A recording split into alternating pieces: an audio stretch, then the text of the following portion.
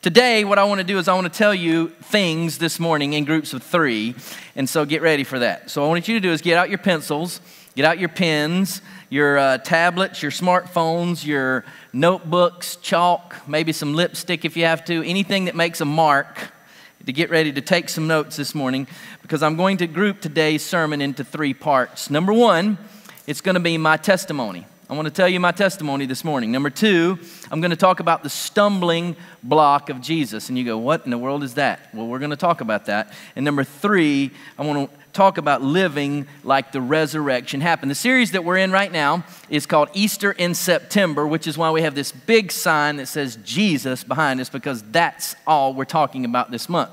That's what we talk about every month, every week, but this in particular about the resurrection of Jesus Christ and what it means for us.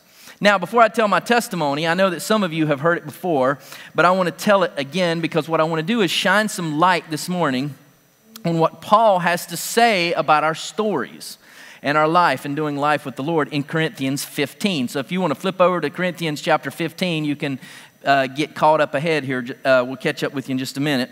But also, it's important that we tell our stories. Um, our testimony is very important. So, what I want to do this morning is tell mine and hopefully help you in telling your story. Think about your story as you're hearing mine and start figuring out a way to craft your story in order to tell it to other people. Get good at telling your story. And the best way to get good at telling your story is to practice and and, and have experience doing it. So, the more you tell it, the more the better you'll get at it. When me and my kids go on vacation sometime, we like to go camping. And there's been times on our camping trip that we'll sit on around the fire at night and I'll say, So here's what we're going to do. We're all going to go around and tell our stories to each other. Even though we know each other's stories, we lived it. But I want my kids to get good, and Teresa and me, at telling our story. To celebrate, so we don't also forget what God's done, to celebrate Him, and we can get very good at telling all about God's faithfulness in our life. How many people could say, raise your hand, God's been faithful in my life? Then you need to be telling that story. All those hands that goes up, I mean, imagine the stories that we have of God's faithfulness. And when we read the New Testament, even, when we're reading the New Testament, we're reading the stories of all of these men and women who came into contact with Christ, and they're talking about his faithfulness to them. And the Bible is full of personal stories and testimonies, and that's the foundation of our faith. That is the foundation of our faith that God's story is personal to us, that He meets each one of us individually. So that when we tell our story, each of us, we're actually telling God's story. So then the question is how much of God, uh, how much a part of your story is God? How much part of it is He? Well, let me begin this way. Most people would start their stories maybe off this way, some of us. I grew up in a Christian home, and what that means is that my family worshiped Jesus, and they took me to church, and we had great value in God's love for me and our family and for others. I've, you've heard me say this before, but my dad survived uh, by God's grace being a Vietnam helicopter pilot for a year over there, and he, what he saw was death hourly, not just daily, every single day, uh, every hour, it seems like, when you hear him talk uh, about his story. Um, but he decided while he was there that there had to be more to life than just this. There had to be more to life than this, living like this and dying like this. And so he has taught me my whole life what it means to follow after God, and life can be better, it can be different, and it has a purpose. And he continues teaching me that today. Well, when I was seven years old, uh, how many people have been seven? Just, okay, just see if you're still with me. All right. when I was seven years old in my grandmother's bedroom, I got down on my knees all by myself. I remember the carpet. I remember the sunshine. I remember the smell of the room. I remember putting my head on the uh, top of her um, bed there where she had a quilt that she had made. And I got on my knees and I committed my life to Jesus Christ. I remember. And I asked him to forgive me of my sins I believed that He was the Savior to the world, and I wanted to surrender my life to Him. I remember in that moment a chill coming over my body. I remember um, it felt like something had entered my soul, and I began to cry, and I didn't understand why, but it was tears of joy. Um, I felt I, uh, that um, I had a feeling of purpose and a feeling of power that had come over me. I felt it, but not necessarily heard God's calling, His immediate calling on my life. And I felt like what He was saying to me again, I didn't hear an audible voice, but I felt in my spirit, I'm going to take you on an adventure. I'm going to take you on an adventure, and I'm going to go with you, and you're never going back to the old life again. And at seven years old, I was like, I'm ready. Let's go, right? Seven years old. I was baptized on Easter Sunday with my best friend, Brian Carpenter. And uh, I remember going to the first grade and telling my first grade teacher, I actually went to a Christian school up till about the third grade, Cramerton Christian Academy, if you know where that school is over in Cramerton. And I remember telling my first grade teacher and all my friends what God had done for me. I was so excited. I wanted to tell everybody, but I was shocked and I was a little bit saddened that they didn't seem that interested in uh, the power of Christ and what he could do with a life that was fully devoted to him. And I got to tell you, I'm still saddened to this day by that fact. When I talk to people today who have lost their passion or they don't see the power of God in the life of a fully devoted follower. Well, I fell in love with music uh, as a kid, but I didn't realize that God had given me a gift for it until much later in my life. So when I was about 17 years old, I met this guy named Gabe Swing, and you all met Gabe last week when he came here to church. My uh, missionary friend down in the Bahamas. And I met another guy, um, his name was Devin Kearns, and the youth pastor at the time was Tom Parnell. Uh, Devin and Gabe were in college at the time. Now, as I tell this story, what I want you to also pay attention to is all of the people that God put in my life. Because God has just put extraordinary people in my life. Don't take your mentors and disciples that God has put in your life for granted. And he's done that for all of us. And if you say, no, he has, you're not paying attention. There are people that God's put in your life. Grab a hold of those. And if you don't have them, go find them, go get them. Show up, make the effort to attend, be there to be discipled. And so I did. Tom and Devin and Gabe told me that God was going to use me and that um, my and my music, and they were going to be there with me to help. They didn't say you're going to do great stuff and let us know how it turns out. They said, We're going to be here with you. Trust me. We're going to go with you. And I was at the church, 17 years old, every time the doors opened, uh, and sometimes when it wasn't opened. Uh, literally, because we figured out how to break in through the window of the church when they wouldn't give us a key. So we would climb through the window and go around and lock the door so we could rehearse and practice uh, our music and get ready. Well, I left the church that I grew up at, which was South Point Baptist Church that I was baptized in, and I moved my membership all by myself when I was 17 years old. My parents did not come with me, it was just me as a 17 year old moving my membership. I started leading worship over at the church. The first week I played there, uh, I played on a little keyboard that I had bought from a friend who wasn't playing his anymore for about $100 that I saved up and bought. And uh, there were about seven people there at the first Wednesday night service. Um, just a few of my friends there at the church. Within a few months, I put a band together of all the best musicians at my high school that I thought at the time. And uh, before long, we couldn't put all the teenagers in that little house we were meeting in. And so we tore all the walls out of the house except for the middle wall that held it up. We actually had to put the band in the corner so that people sitting over here could see us, but they couldn't see those people because we just completely filled this little house. And every Wednesday night, lost teenagers were coming to Christ almost every single Wednesday. It was amazing. In fact, the cops were getting called on us a lot because the kids were parking in the neighbor's yard and they were getting upset, so the police were coming all the time. it was kind of interesting. The band I was leading uh, continued to find some popularity uh, in that church and in some other churches around town, so much so that it turns out that we couldn't have a rehearsal without 100 people showing up. So we had to start having rehearsal in secret. And uh, all of that began to do something uh, good and bad and the bad is that it started to make us very prideful. So one night, as I was singing with the band, I, re- I realized as I looked out at the audience that I had got off track. That I was not doing what God called me to do in that very first meeting when I was seven years old. We had this rock show going on, and everybody was stage diving and all this stuff. Billy Thompson was our sound guy, so you can blame him. He was part of this show.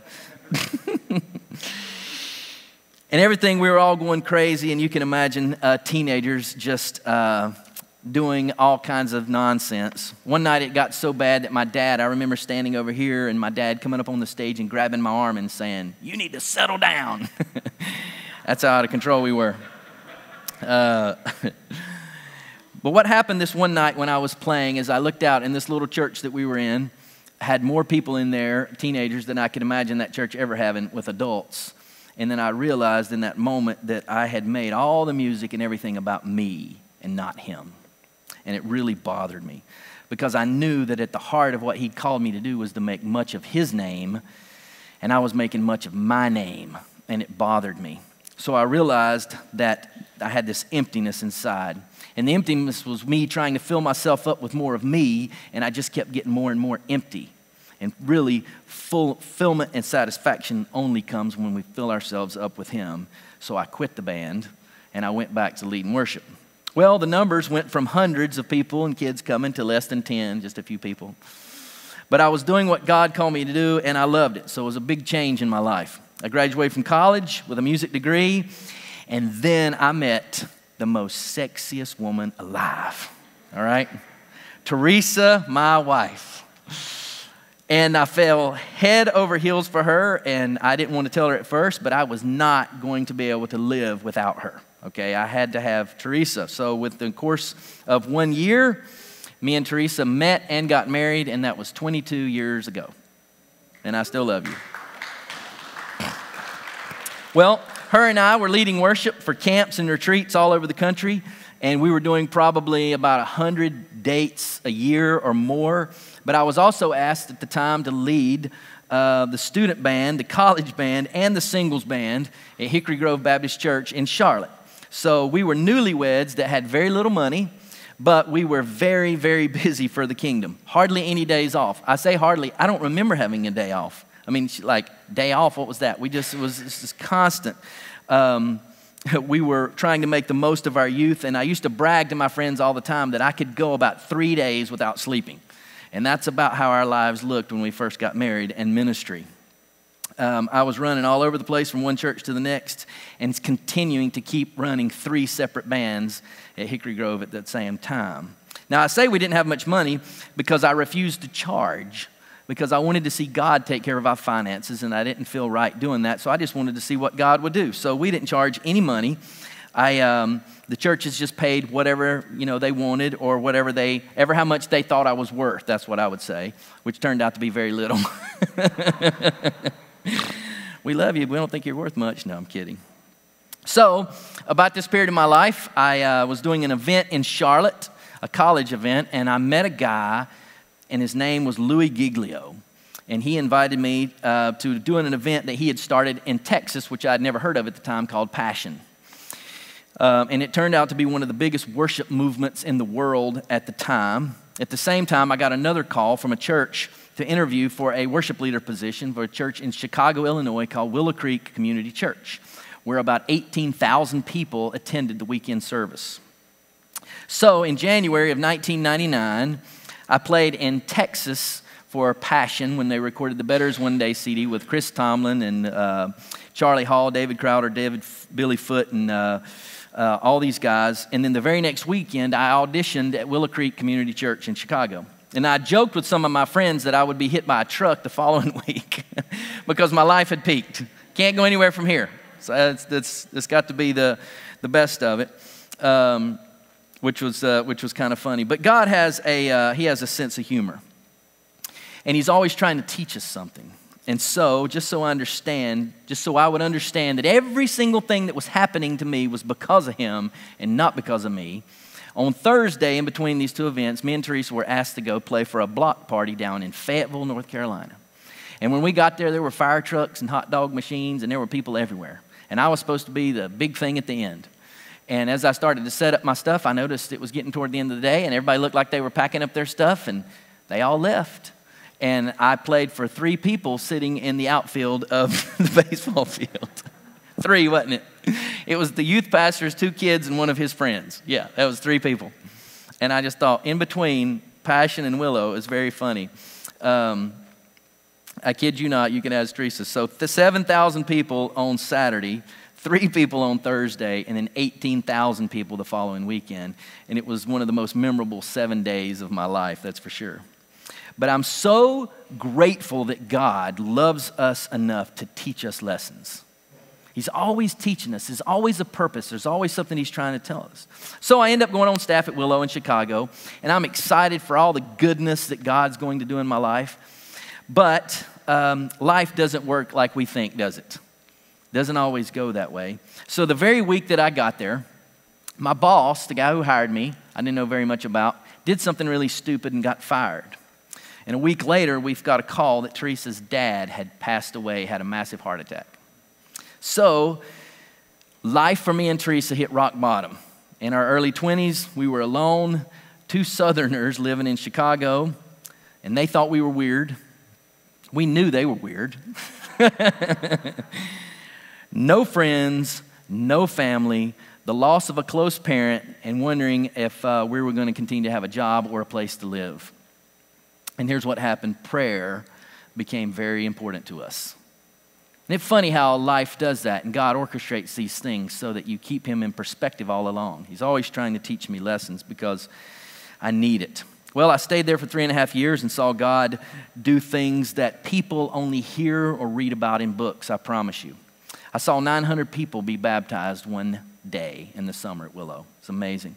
I led worship one time for, um, for several thousand people and found out as someone came up on the stage and told me, hey, uh, everything that you say is going to be translated in over 30 different languages. It was incredible. I wrote the opening musical number for their 25th anniversary, where 44,000 people attended and they raised $79 million for the building facility. It was incredible. Teresa and I made lifelong friends, and life and ministry was going good. We had our first child, Hannah, and I was learning that God keeps his promises to us. He's being faithful to what he had told me in that bedroom all those years ago when I was seven years old. I'm going to take you on an adventure, and I'm going to go with you, and you can trust me.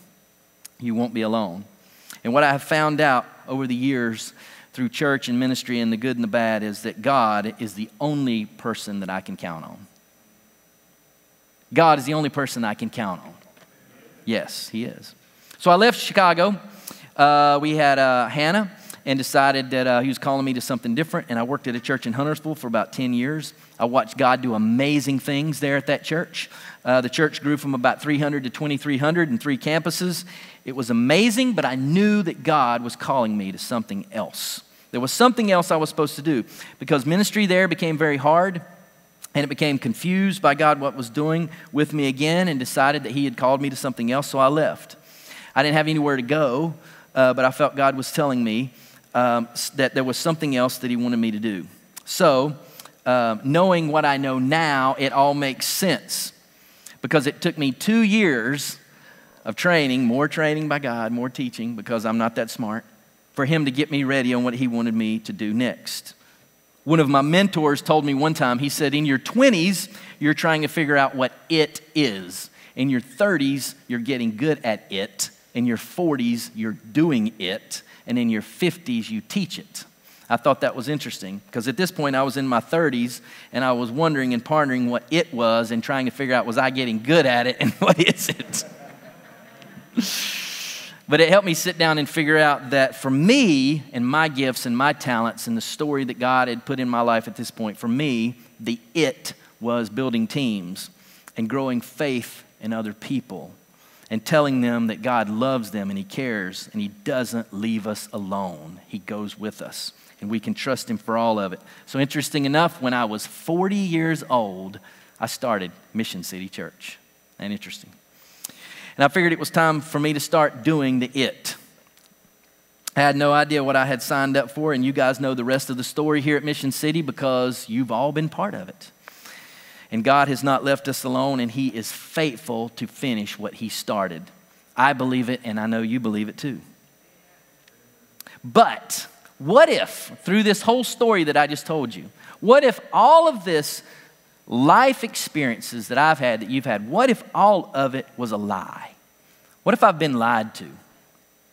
What if you've been lied to? What if everything about my story and your story is just coincidence? Chance. Good stuff happens, bad stuff happens, some more good stuff happens, some more bad stuff. That's just life. And it has nothing to do with God. He had nothing to do with any of that. What if God has had nothing to do with my life or my story? What about you?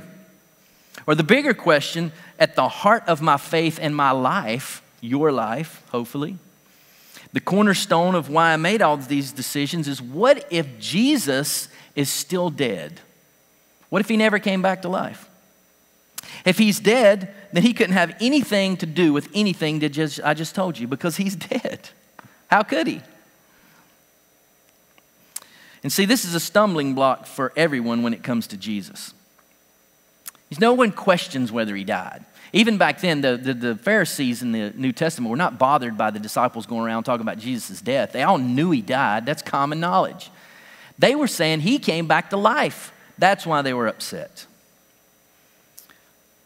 It was common knowledge and it's indisputable and it still is today, but they were mad because the disciples were saying, This guy is different than the rest. He came back from the dead. And the reason they were mad is because if he came back from the dead, then everything about what I believe has to change. Everything about what I believe has to change. See, Jesus is not simply a stumbling block because he's a man who did nice things and he taught love your neighbor as yourself and then he died an innocent man. Nobody has a problem with that. That's not the stumbling block for, for people, it's the resurrection. It's him coming back to life. Because the resurrection means this check it out. He is God. That's what that means.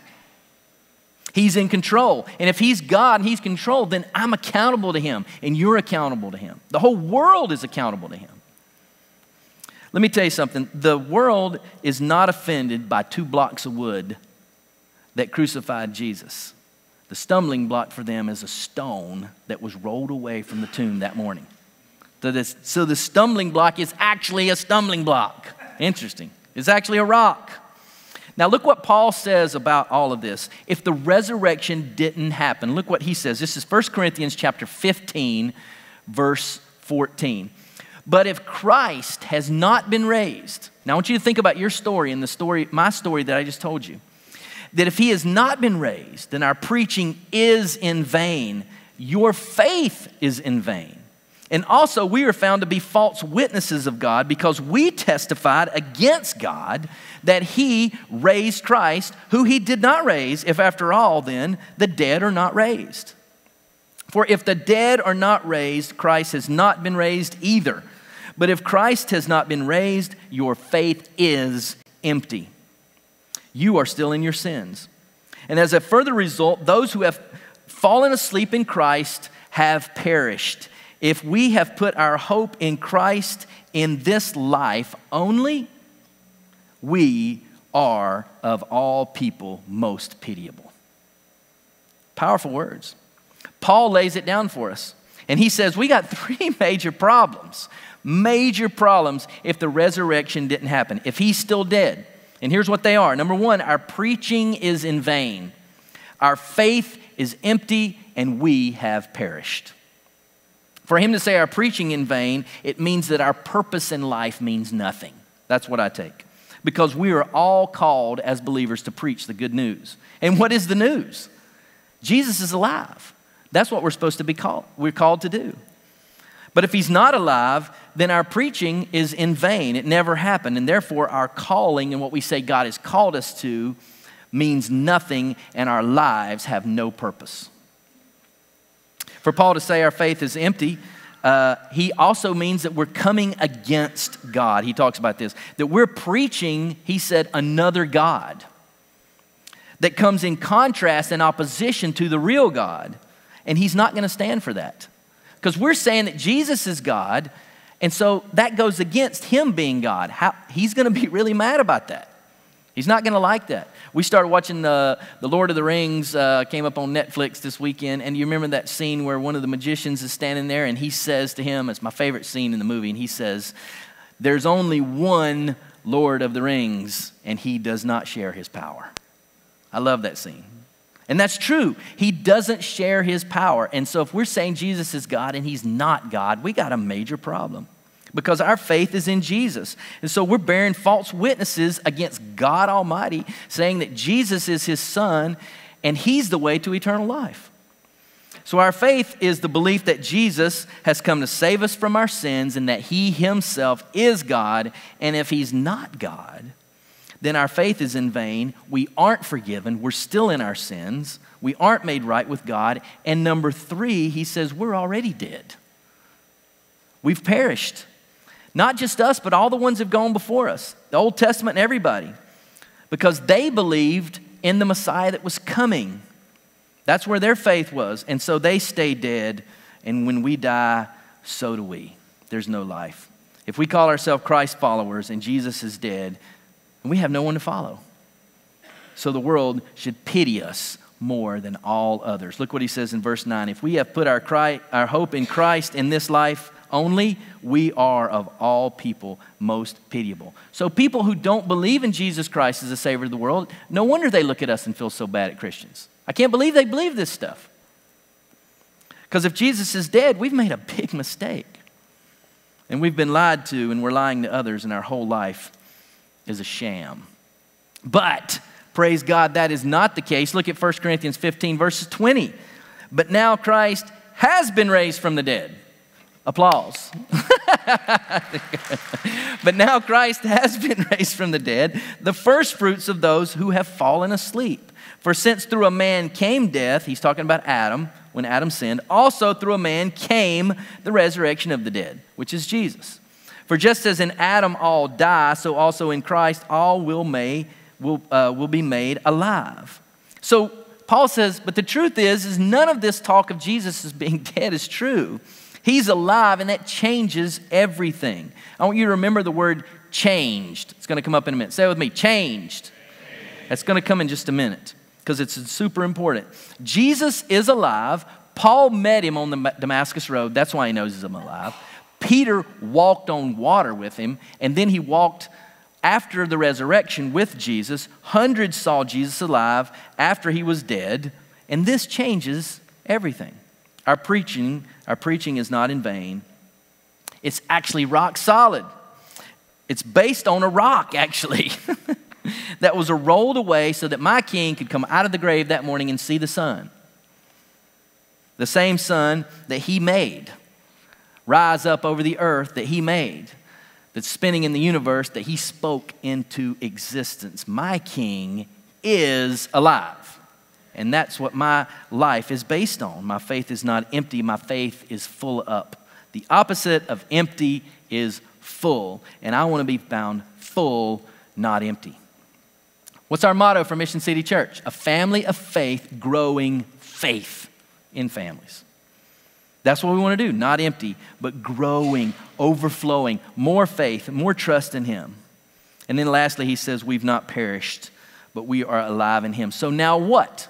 So if all of that is true, the question of whether He died and came back, that's all a lie. He did, I mean, He did come back. It's a lie that he didn't. 1 Corinthians 15 says this Paul talking to us. So, so then, my dear brothers, be steadfast, immovable, always abounding in the work of the Lord because you know, this is great, because you know that your labor is not in vain in the Lord. So, Paul tells me that my story that you just heard, your story of faith in the Lord, it's not in vain. It's not in vain. So, three things Paul tells us here. Let's look at it. Notice um, everything today I said is in groups of three, so here's three more. Help us remember number one, be steadfast. Number two, be immovable. And number three, abound in the work of the Lord. Steadfast, what does that mean? That means to take a hold of Christ and don't let go. Be constant in your faith, be unwavering, depend on Him, be immovable. And this is tough sometimes because you can't let the hurts of this world shake you. You have to let those hurts bring you back to God. And when life takes you on a different turn than you had made plans for, he's saying, stand immovable in your faith that God has called you to, and he's walking with you in it. And you've heard my story. I've seen some highs and some lows, but I can promise you that God was there through all of it. I felt his presence. I know he was. And so he says, abound in the work of the Lord, not in the work of men. That's what I take from it. Be found doing things that honor God. Be found preaching the good news. Be found trusting God in the hard times. Be found worshiping God with his followers and encouraging other people in their faith. Be found loving the broken and helping the poor and praying for the sick. Abound in the work of the Lord. You're driving around in your free time and you're all by yourself. You think about this Am I abounding in the work of the Lord? Am I doing what He's called me to do? He's not dead, He's alive. It changes everything. Abound in the work of the Lord. Listen here. We all have a story, okay, in this life. And I'm hoping that this morning that my story can encourage you. Because when we surrender our life to Him, when we surrender our life to Jesus Christ, let me tell you, He takes our faith very seriously. He does. And what I'm saying is, so should we. We should take our faith as serious as He does. Never walk away through the hard times and the mystery and the job loss and the loneliness and losing ones that we love. We should be steadfast and be immovable because here is what we have to look forward to because of the resurrection of Jesus Christ. Everything that I've told you so far leads to this verse that I'm getting ready to, and I, I mentioned change. Listen to the change that we have looking forward to. This is extraordinary. And I'm hoping that you won't lose your voice screaming so loud when you hear this, okay? If I set this up or not. 1 Corinthians 15 51. Behold, I tell you a mystery. Paul says, I don't even understand it myself. We will not all fall asleep, but we will be changed in a moment in the blink of an eye, at the last trumpet, for the trumpet will sound and the dead will be raised imperishable. You know what that means? You know what a perishable item is, right? It goes away. Imperishable, never go away, eternal, always, and we will be changed. And there's the word change life change. So I'm saying live that changed life now because that's what's coming. That's what we have to look forward to. Live knowing one day this body will be changed. And let me tell you, the way my body's headed, I need a change. You know what I'm saying? I used to like this thing. Now it ain't working right. It's got flat tires and stuff. it ain't running all, all eight anymore. But we will be changed in a moment. And when we see Jesus, let me tell you, when we see Jesus face to face, we are going to fall down and we were going to worship him with the multitudes and we were going to call out in a loud voice, like the Bible said, Glory to God in the highest. And we're going to say, like they say in Revelation, Praise to the Lamb who takes away the sins of the world. Unbelievable. The resurrection should mean something to us. Because if it never happened, then we. The series is titled Easter in September. Um, week one was titled The Power of Christ in the Faith of His Followers. My week two sermon was Jesus Came to Die So You Can Live Today. And today's sermon is this If the resurrection is real, then we better live like it. Live like it happened. And if you've noticed, each week there's been sort of a theme, been the same thing that Jesus is alive. That news matters, and we need to live like it matters, and we need to live like He's alive and grow our faith in a resurrected King. Yes. To live like Paul is describing, though, takes effort. And uh, it takes commitment and it takes prayer. It takes a lot of prayer.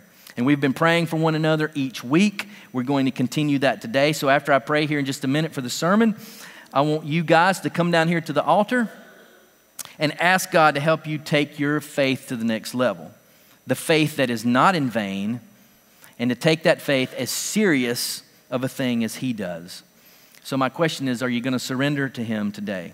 Now, if you've never surrendered your life to Christ, I want to invite you to do that today. If you heard my story praying and asking God's forgiveness when I was just a kid, uh, if you've never done that, I want you to know that you can be forgiven. Come and talk to me today, can be that day.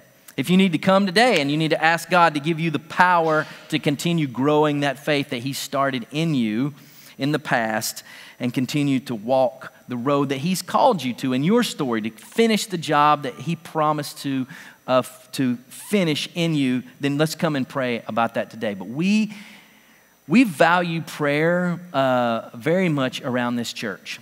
And I just want to grow that even more and more and more because I'm desperate for him and I'm desperate for the conversation and the relationship, and I hope you are too. So let me pray for us this morning.